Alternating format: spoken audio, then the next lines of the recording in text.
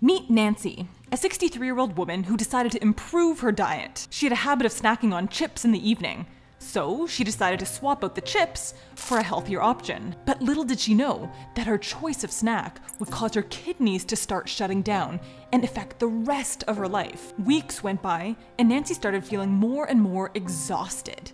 No matter how many cups of coffee she had, she just felt like she was dragging herself through the day. So she went to her doctor, who ordered some blood work. When Nancy looked up her lab results, she was surprised to see that her kidney function was highlighted in red and labeled as abnormal. That's weird. Just eight months ago, her lab work was completely normal. The next day, Nancy got a call from her doctor's office asking her to repeat the blood work. Hopefully, it was just a lab error. Nope. The lab results came back showing the same thing. Nancy's kidneys were filtering at a rate of only 25% of a normal kidney. At this rate, it won't be long until her kidneys aren't working at all. So the big question is, what's causing this kidney damage? And can it be reversed?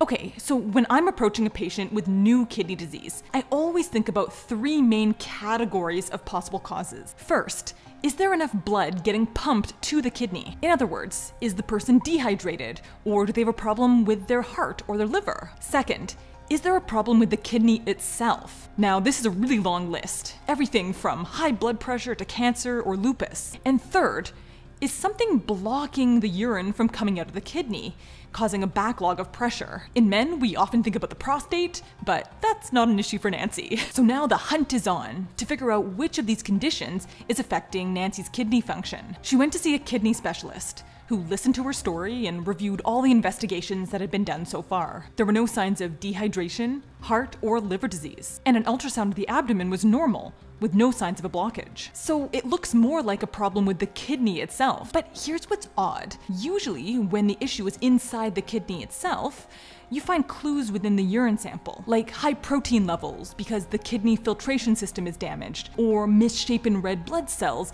because of an inflamed kidney. But surprisingly, Nancy's urine was pristine, with no blood and no protein. As an aside, there are a lot of things that you can learn about your health just by looking at your urine. So if you want to learn more about practical things to watch out for, then take a look at this video next. Nancy's doctor ordered more tests. They looked for narrowing of her blood vessels, autoimmune diseases. She even had a bone marrow biopsy to rule out cancer. And everything came back normal. Three months went by, and her kidney function continued to deteriorate. Now her kidneys were only functioning at 20% of normal capacity. Things were getting dire. With no time to waste, Nancy had a kidney biopsy. This allowed her doctors to actually examine a tiny piece of her kidney under the microscope to try to find a clue. At first glance, it just looked like general kidney damage, nothing to really help with the diagnosis. But then they exposed the specimen to polarized light and this is what they saw. Notice how it looks like someone sprinkled glitter on the kidney? Well, those are actually calcium oxalate crystals. And that's what's damaging Nancy's kidneys. It's a condition called nephrocalcinosis. Nephro for kidney, and calcinosis meaning calcium deposition. And for those of you who are thinking, isn't that the same as kidney stones? The answer is no. While kidney stones can be formed by calcium oxalate crystals, the difference lies in where the crystals form. Think of it like this. If crystals form inside the urine, it can form kidney stones. But if the crystals form inside the kidney itself, it can cause kidney damage without actually forming any stones. And the reason that stones form in some people and not in others seems to be related to the immune system. Okay, so now we know what's wrong with Nancy's kidneys. But we still have to figure out why her body is forming these calcium oxalate crystals. So Nancy met with a dietitian at the kidney clinic who asked her to go through what she typically eats for each meal. Oatmeal and coffee with milk for breakfast, an omelette on toast for lunch, and meat and potatoes for dinner. Pretty classic. What about snacks? Nancy confidently explained that she used to eat lots of chips and popcorn for snacks, but now she had switched to a healthier option. She was eating cashews, about one kilogram of cashews per week. Now, don't get me wrong, one kilogram of cashews a week is a lot. It's definitely an expensive snack, but it just doesn't strike me as an absurdly large amount that would cause two organs to fail. So, could there be something else going on? Nancy's dietitian did a few calculations which revealed two things. Nancy's diet was high in oxalates and very low in calcium, and further testing confirmed it. Her urine was full of oxalates, and very low in calcium. That's the worst combination, and it's the key to this entire case. And to understand why, we need to talk about oxalates. So first, what are they? So oxalates are natural compounds that are found in so much of our foods fruits, vegetables, grains, and nuts. The strange thing is that they don't seem to provide us with any nutritional benefits, and they can cause issues, which is why they're often called anti-nutrients. And that's usually not an issue, because only about 10% of the oxalates in your food actually get absorbed into your body. That is, as long as you're eating enough calcium.